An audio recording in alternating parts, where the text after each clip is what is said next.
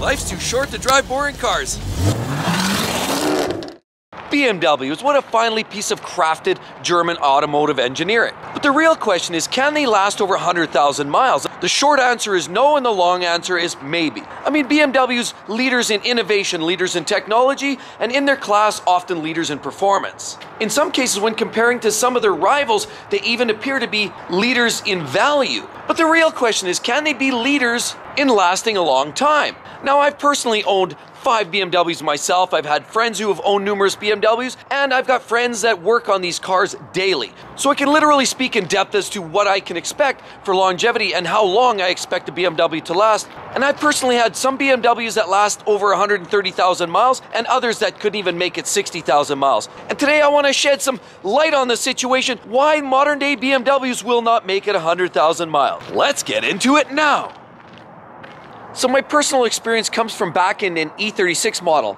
This is the E46, so this is the predecessor to what I had was the E36. I had a 318 Ti, which actually had a couple of minor problems, and then I moved up to a 320 in 1992. Now that was an inline six-cylinder engine and it was silky smooth, we had lots of problems. One of them is a hard start on a warm engine, and the other one was numerous coolant leaks. Had a water pump and a thermostat, and the thermostat is tucked away in a very tight spot. You have to pull the fan and it's a very difficult access. And because of that, it sounds like a simple part, but the dealer quoted me about $800 parts and labor for a thermostat. So I decided to take a day off work and do it myself because the trade-off was actually to save some money by doing it myself as it was a difficult part to access.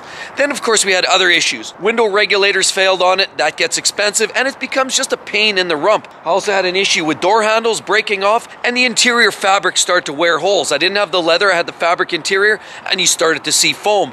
All that happened before 200,000 kilometers, 120,000 miles, and I considered myself lucky with the E36, it actually ran that far another personal experience, I bought an E60 M5. That's that glorious V10 S85 engine. You would also find it in the M6 back in the mid 2000s. Now, on one hand, it's a wonderful engine when it's working. On the other hand, I've had to pour a pile of money into it already, from throttle actuators to the tune of about $4,000. I've also had to do some cooling lines that started to spring some leaks. But I actually consider myself lucky because my car only has 60,000 kilometers on it, and I know by the time you hit 100,000 kilometers, you better be looking at doing rod bearings because those engines are notorious for that. You might as well count another five to ten thousand dollars once you hit that kind of mileage. And then there's others that say the computing power in the E60 M5 is that that exceeds the NASA space shuttle. So everything that goes is expensive. BMW charges a minimum $169 just to look at the damn car, and the labor rate is enough to keep a king in gold. And another BMW that I currently own is very similar to this. What I'm looking at here is an X5 35D,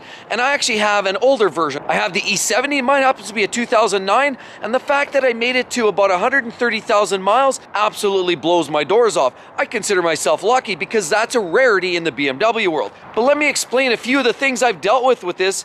And sadly, even my X5 is currently sitting with the dealer in the service department waiting on a decision from BMW Canada whether they're going to consider a good faith decision on replacement of a part. But let's talk about some of the issues. As I said, we've got the 35D, like this one right here, X-Drive. And they've got great keyless entry, wonderful high gloss black trim all the way around, wonderful wheels, stout looking fender flares that make them look aggressive. And yes, you can tow some weight with these. Wonderful little overhangs and sharp look from the back. Of course, a small roof rack to haul your projects. And you've got the large glass space on top of the roof to allow a lot of light inside for all the passengers. We've got the wonderful angel eye headlights and their classic BMW kidney style grille. So this car is very similar to mine. And we loved it for the way it looked, the way it drove, the 35D, the diesel engine actually hauls it around quite nicely. And ours has the third row, so it has the rear air self-leveling suspension. So I've had vacuum leaks, which cost me thousands of dollars for diagnostics. And our vehicle actually has a third row seating, and because of that, it has the rear air self-leveling suspension. And we've replaced those those rear airbags three times because they only last two or three years and then they start to leak down and you come out in the morning and the vehicle's sitting on its rump. Now those aren't particularly inexpensive either. We've also had a problem here just under the BMW extended warranty of 200,000 kilometers and 10 years, BMW is providing an additional warranty that right behind this front bumper, tucked right down in there, there's a diesel exhaust fluid tank. It's an active tank. There's a passive tank on the back and it feeds into this. Now there's a heater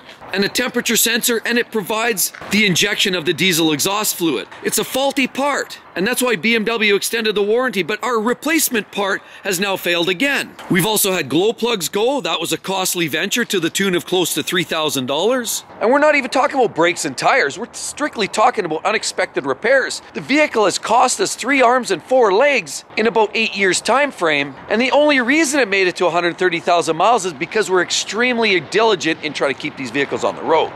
And I basically had an older version of what you're seeing here. It's a coupe. I had an E92 335 and it actually had the N54, which is the 3 liter twin turbo engine. And they only ran that for a short time because there was just way too many issues. Now, I personally enjoyed driving it. It was a lot of fun. Mine was a six speed manual, rear wheel drive, and slightly tuned, so it had a lot of power. But let me tell you, I had 60,000 miles and I couldn't get rid of it fast enough. I bought it used. It had all the updates and maintenance records, but it still couldn't last barely past 60,000 miles.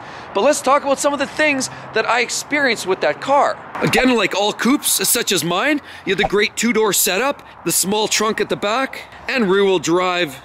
You have a beautiful sunroof, wonderful mirrors, angel eye style headlights, and the bold grille that you would expect from BMW. I didn't want to take the word for it. I researched it all over the forum and everybody talked about all the problems. But I thought, oh yeah, I can tolerate it. I've had BMWs before. I can get through this no problem. Well, guess what?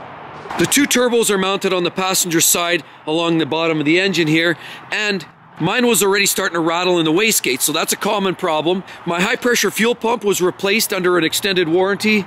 The fuel injectors were failed. It already had one decarbonizing treatment. And in the time I owned it, I had to do a water pump, a thermostat. I also had to do the intake manifold O-rings, there's six of them, and then they had to be done because I was starting to experience vacuum and pressure leaks, and that was a, one of the culprit areas. The other problem area was the, the oil filter housing, which leaked like a sieve. I had coolant and oil leaks from there. There's two odd shaped gaskets, one between the cooler and the filter housing and one between the filter housing and the engine. Two different sets of O-rings. Very difficult to access the one set on the engine because you actually had to pull the intake manifold to get at one of the bolts. Very time consuming because to even get at the intake manifold, you had to pull apart cross braces and the shroud that's underneath the hood.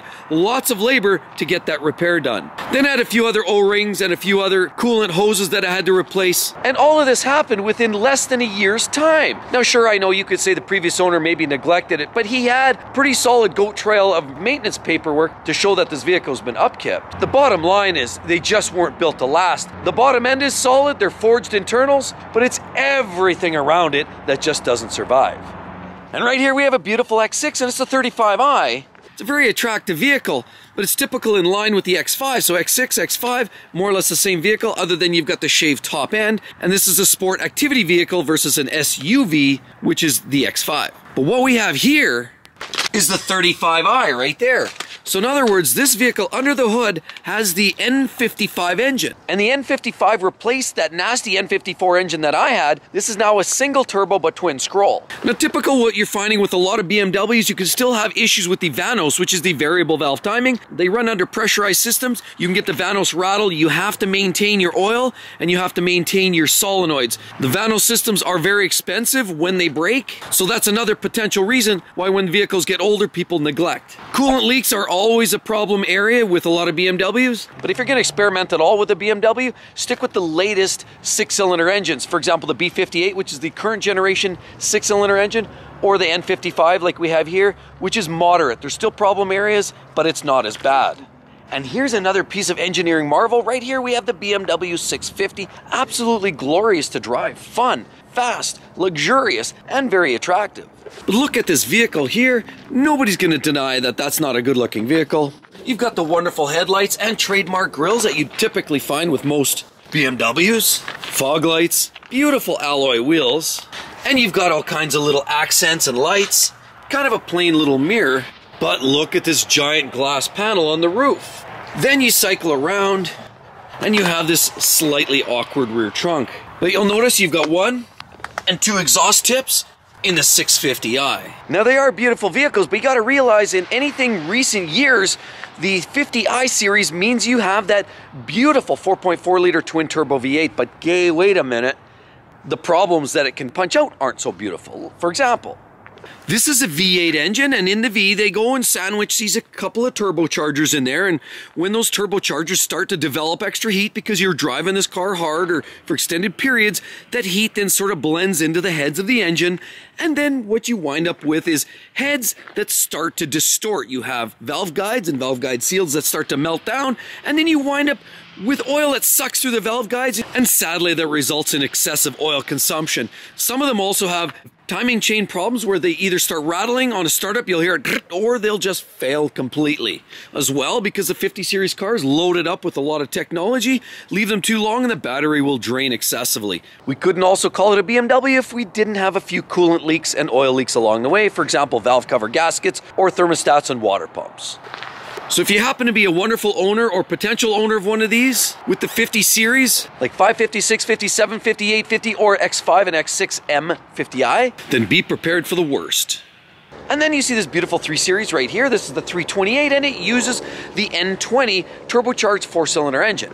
Now they look great and they were very fuel efficient. They put down decent horsepower numbers and just sipped fuel. They also had the great headlights and the grille that you'll find typically with most BMWs and the little bumper that's pretty consistent with the brand. How about the wheels? Great little rims and a little mirror that's consistent with most. BMW's always had these great little handles and a sunroof to boot. Circle around, you've got a pretty conventional trunk as we're talking about a sedan here in the 328. LED tail lights. So this car is pretty up to date, but sadly it's that N20 engine that has now been replaced by the B48, which is the engine I have because this N20 is known for notorious timing chain issues, particularly in the earlier years. And when timing chains fail because of weak timing chain hardware and the ramps, chains pile up, pistons and valves run into each other and you result in an engine failure that goes boom. Not only that, you have oil filter housing issues, particularly where extended oil service intervals back in those days would start to collapse oil filters. So these engines often wouldn't go for a lot of miles because of some of the problems that you're finding.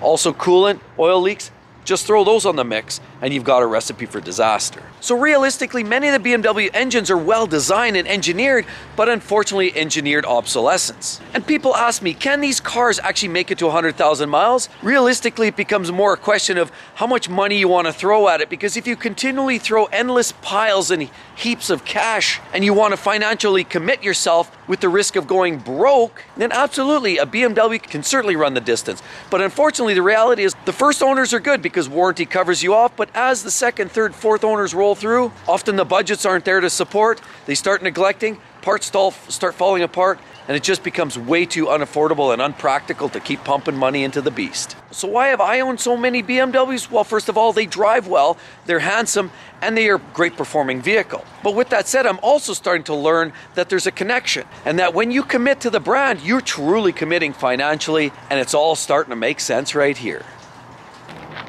And with all of that said, be sure to check out that list, some of the top vehicles that will make it over 300,000 miles. Hope to see you real soon. Catch you next time. Bye bye.